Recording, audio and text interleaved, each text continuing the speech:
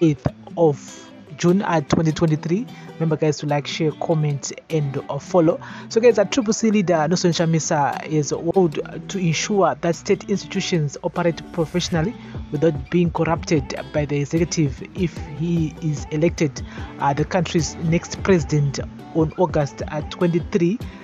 Chamisa narrowly lost to President Emmerson Mnangagwa in 2018 after he garnered 44.3% of the vote while the latter got 50.8% of the vote according to the Zimbabwe Electoral Commission ZEC.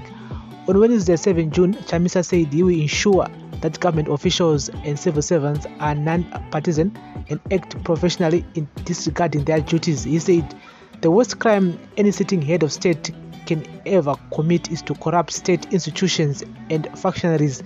In a new republic under a citizens' movement, government we will not pollute and contaminate those who preside over the affairs of the state using trinkets, trappings, and other pollutants. Public officials shall never be allowed to be partisan, sloganeer, or parrot political party nonsense in their corridors of government. Zimbabwe's resources and money shall not be abused to buy political survival. It's time for new leaders Critics say ZANU-PF has corrupted state institutions such as the judiciary, security forces, and traditional leaders, among others, so that they become extensions of the ruling party. ZANU-PF has been accused of abusing the courts to punish opposition politicians. The arrest of Zengeza West MP Job Sikhala being used as an example of the capture of the judiciary by the ruling party. Sikhala, who has been in pre trial detention since June 2022, was recently denied bail for the 15th time.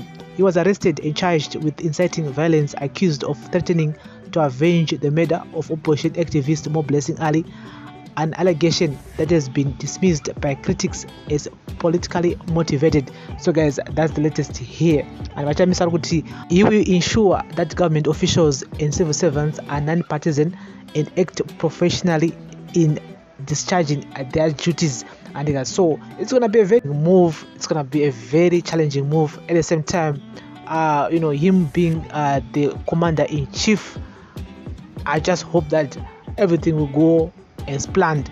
Because i mean zimbabwe has been with one political party ichitonga since 1980 saka kuzoda kuzochinja chinja zvinhu uh, muna 2023 it won't happen overnight for you. But anyway, we'll be keeping you guys up to date here with the latest on uh, daily news, breaking news, everyday news.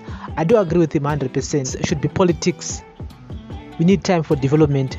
We need time that we as Zimbabweans tomorrow more about uh, what we need to do, what's the way forward. I mean, through Mashure, we need to catch up neighboring countries. And so, thank you for listening. Thank you for watching. Remember, guys, to like, share, comment, and follow. Bless up.